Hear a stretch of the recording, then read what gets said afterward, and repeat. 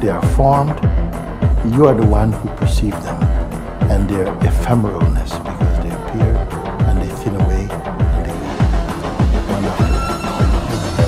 You don't have to be so engaged with that. They're just like clouds passing. You don't have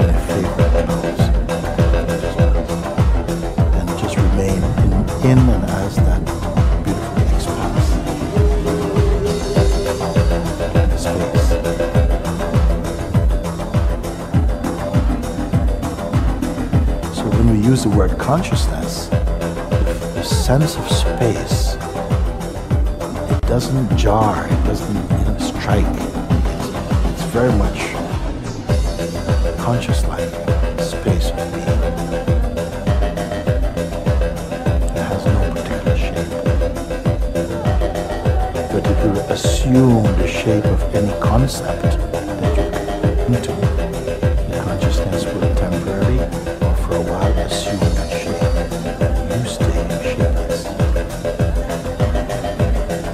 Feel.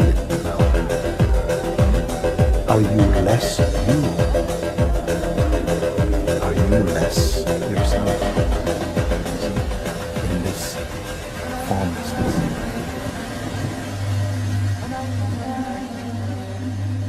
And trust also.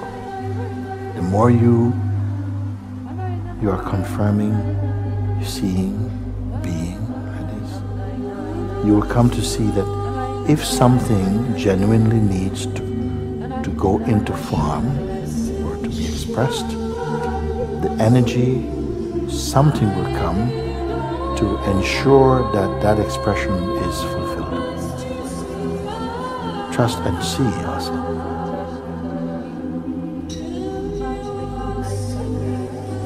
That you don't have to be applying, you know, sweaty force.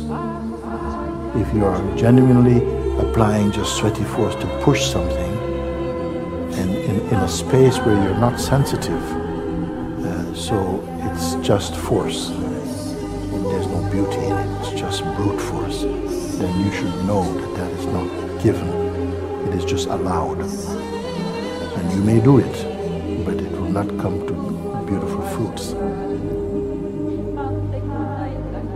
As you spend more time just being, in the place of being, you find that your the motivations, the urges that arise within you, somehow other forces sometime unexpectedly will join yours to complete an action that needs to happen.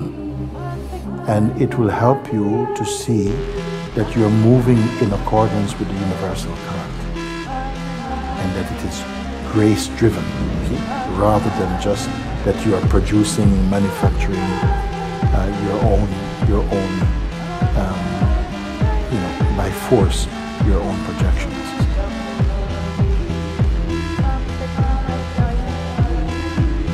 And as we spoke just earlier, hmm, yes, of course, there are times when this effort is required, physical effort is required, but it's not a strain. Accompanied by, there's a, there's a fluidity there, there's a joy there. And the joy makes it feel light. Everything becomes light. It's not heavy, not burdensome. It's very important to that we are developing that sensitivity. It happens very naturally also. The sensitiveness to, to, to read the, the, the, the language of the vital